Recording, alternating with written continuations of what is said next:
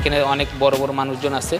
তো চিন্তা করা অনেক বড় বড় মানুষজন আছে তার সাথে অত্যাশা করি না ভাই আমার এখন এই যে আমি আমি যে জিনিস আমি তো বললাম এইটা আমার হাতে নাই। যদি আমার হাতে থাকতো যে আমার মন চাইলো আমি চলে গেলাম তাহলে আমি এটা নিয়ে চিন্তা করতাম। যে জিনিস আমার হাতে নেই এই জিনিস আমি চিন্তা করার আমার কোনো লাভ নেই। মাঠে কিংবা মাঠের বাইরে সবসময় হাসি খুশি থাকেন নাসির হোসেন।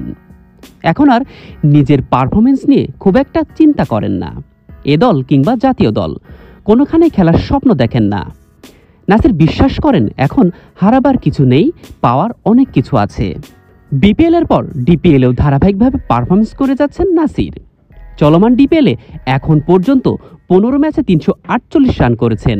উইকেট নিয়েছেন বারোটি। তবে নিজের পারফরমেন্স নিয়ে মোটেও খুশি নন এই ডানাতি ব্যাটসম্যান আমার টিমের একটা রোল থাকে যে আমি শেষ পর্যন্ত খেলব বাট ওই রোলটা আমি হয়তো আমার মনে হয় না যে আমি পূরণ করতে পারছি বাট কিছু কিছু ম্যাচে আপনার তিরিশ, চল্লিশ করে আউট হয়ে গেছি তো ওইগুলো যদি আমার সত্তর, আশি, নব্বই হতো তাহলে আরও ভালো লাগতো। শেষ কবে জাতীয় দলের জার্সি গায়ে জড়িয়েছেন, সেটি হয়তো নাসির নিজেও বলতে পারবেন না। তবে আর জাতীয় দলে ফেরার স্বপ্ন দেখেন না। ধারাবাহিকভাবে পারফরমেন্স করলেও তাকে এ দল কিংবা বাংলাদেশ টাইগার্স কোনোখানেই রাখা হয়নি। মনের মধ্যে ক্ষোভ থাকাটাই স্বাভাবিক। কিন্তু এ বিষয়ে ক্যামেরার সামনে কোনো কথা বলতে চান না তিনি। এখন তো হারাবার কোনো কিছুই নেই, এখন পাওয়ার অনেক কিছুই আছে। সো আমি এখন না, ওটা, ওটাই বললাম যে এখন তো হারাবার কিছু নেই, এখন পাওয়ার অনেক কিছুই আছে। সো আমি এখন ক্রিকেট আগেও এনজয় করছি এখন এনজয় করতেছি বাট এটাই বলব আর কি, আর কিছু বলার নাই।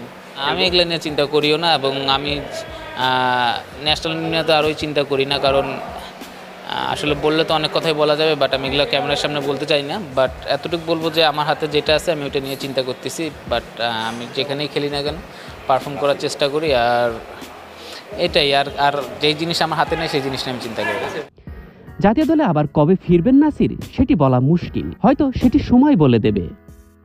তবে নাসিরের বুকের ভিতর যে রক্তক্ষরণ হচ্ছে, সেটি কেউ কি বুঝবে? মেজবা মিলন ডেলি ক্রিকেট এর পরেও প্রিমিয়ার লিগে সাড়ে তিনশো আর সব মিলিয়ে কি বাংলাদেশ টাইগার্স অথবা এই টিম এটা কি প্রত্যাশা করেছিলেন? না আমি এগুলো কোনো কিছু প্রত্যাশা প্রত্যাশা করি না ভাই। আমার এখন এই যে আমি আমি যে জিনিস আমি তো বললাম এইটা আমার হাতে নাই। যদি আমার হাতে থাকতো যে আমার মন চাইলো আমি চলে গেলাম তাহলে আমি এটা নিয়ে চিন্তা করতাম। যে জিনিস আমার হাতে নেই এই জিনিস আমি চিন্তা করার আমার কোনো লাভ নেই। এখানে অনেক বড় বড় মানুষজন আছে।